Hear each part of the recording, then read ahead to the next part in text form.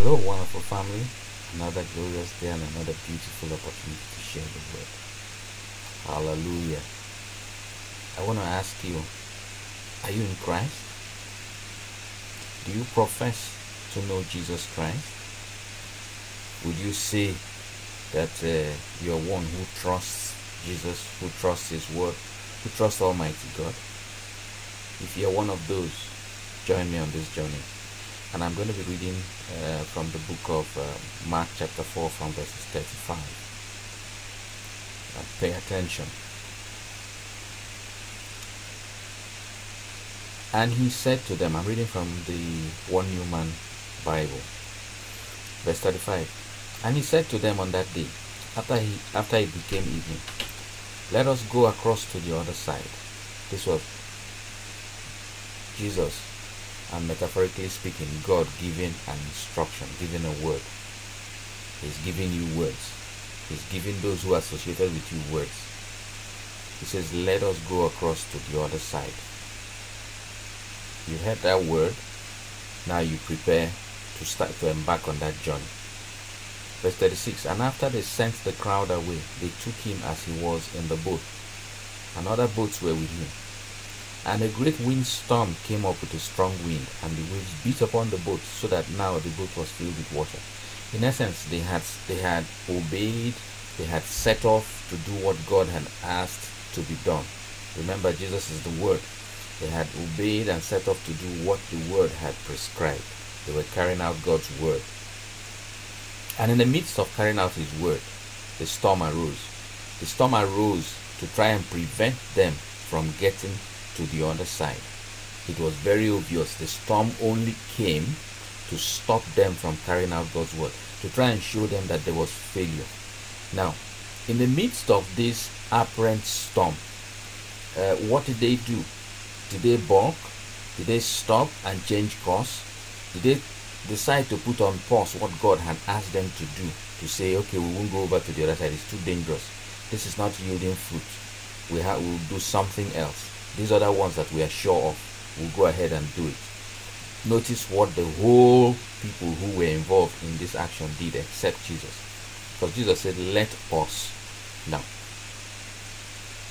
notice that the boat was filled with water. When a boat is filled with water, what is the next logical thing that happens? It flounders and it sinks because it is no longer more buoyant than the water that it is resting upon. It will sink. That's a natural thing. Now, verse 38 And he was in the stand sleeping on a cushion.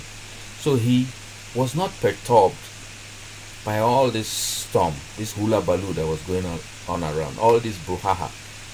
He was as if he was careless.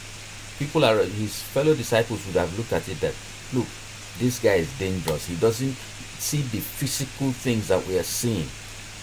That is in fact, they had set aside what he had said in the beginning. All they were interested in is this doesn't look viable. Let us look for plan B, option B. This man is going crazy. Let us wake him up and let him change course. And he was in the stand sleeping on a cushion, so he appeared careless. And they roused him and were saying to him, they gathered around to, to, to query him, and were saying to him, Teacher, does it not concern you that we are perishing? They were more concerned for him and themselves and those around than apparently he, he who knew more. Does it not concern you? Does it not concern you that we are perishing? We are worried. We are worried. And when he woke up, he rebuked the wind and said to the lake, You must be silent. You must be muzzled. Then the wind ceased and there was a great calm. Verse 40. And he said to them, and he's saying to you, he's saying to me, he's saying to those of us who profess that we have a relationship with him, that he has given that instruction. Let us go over to the other side. He said to them now, Why are you timid? Why are you timid? Do you not yet have faith? In essence, he's asking, so you don't trust the word are, you only act this way because in, in reality you don't trust the word. you believe that the situations and circumstances will trump that word. If you trust that word, irrespective of the situations and circumstances, yes, they might appear dire, they might appear life threatening, they might appear as if it will cause perish, uh, uh, uh, perishing, it will cause ones to perish. But if you trust, trust God, irrespective of what it is, you will not act in a timid way, you will keep trusting. And if the if push comes to shove, first of all, you should have been at rest. You shouldn't be worried. If you are worried, you are saying that you are out of trust. If you say, I'm worried, because he, com- he, co- he commanded us, says that we should have no anxiety about anything. We shouldn't be worried. We should cast our cares upon him. We should trust him. Now, if you are worried, it means that you've not trusted God.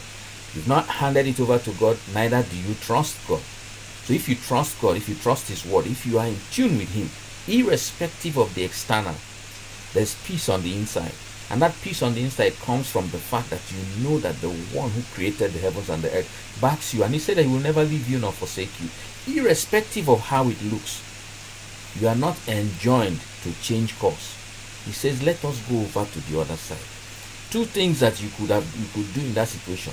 You could rest in his word and lie down asleep as stand on a pillow like him. Or if the thing is troubling your sleep, you stand up and speak to it. The, the, the only thing he required of them there to do was not to grumble or to think of changing course, but to address the situation. Are you in Christ? If something seems to be perturbing you, your duty is to speak to those situations. There's nothing you can do physically because that storm arose basically because he was going to the other side to cast out those demons from Gadara. And the reason behind that storm was that they didn't want that mission fulfilled. It was not a natural storm. So it could not be handled with natural means. If you back out, you, you miss the mark. And your father will not be pleased with you. So, when those kind of storms arise, take your stance. If you know the word and speak to the storm, address the storm, and keep heading forward. Don't let anyone turn you around. It is um, it's it is it is an affront to your father. If your father has given you instructions, let us go over to the other side. And a, a storm or a situation causes you to change course. The Bible says that if you faint in the day of adversity, your strength is small. Act like your Lord Jesus. That's why He came to show us, to demonstrate to us what we should do. And then what, what next did He say? says, Do you not yet have faith? And they feared intensely and were saying to one another, Who then is this that even the wind and the lake obey him? Hallelujah. Let me read from uh, Matthew's account. I've thought about it, but let me read from Matthew, Matthew's account. Verse Matthew chapter, um, sorry, Matthew's account, uh, Matthew chapter 8 from verses 23 to 27. I'll read that fast. When he went into the boat, his disciples followed him, and he, behold, a great storm came on the lake. So the boat was covered by the waves, but he was sleeping. That's what he expects you to be doing, not to be worried, not to be bothered. And then they came and woke him, saying, Lord, you must immediately save us. We are lost. Then he said to them, Little faith, why are you cowards? He's asking you, Why are you a coward? Why are you a coward?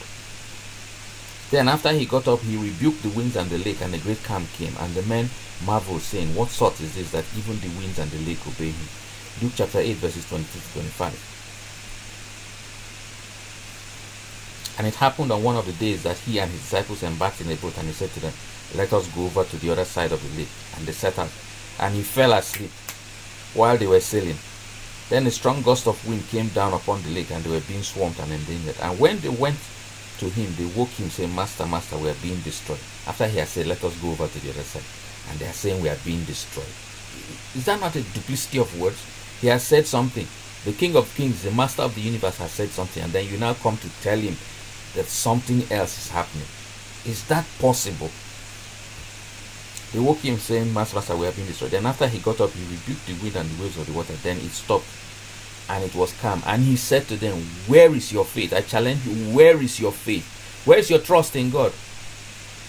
But being afraid, they were amazed, saying, to one another. Who then is this that even commands the winds and the water and they obey him? He says unto you, Where is your faith? Why do you want to turn back? Why do you want to go for plan B? I'm asking you why there's some there's, there's a charge you've been given. Why, based on situations and circumstances, do you want to steer away because of adversity that appeared? That adversity was put there by the enemy. If you turn away, you have told your father that he is a failure. You've told him that he cannot put you through and he will not be pleased with you. If it troubles you enough to wake you from your sleep, your sleep of peace, speak and address that wind and that situation, but do not turn back. God bless you.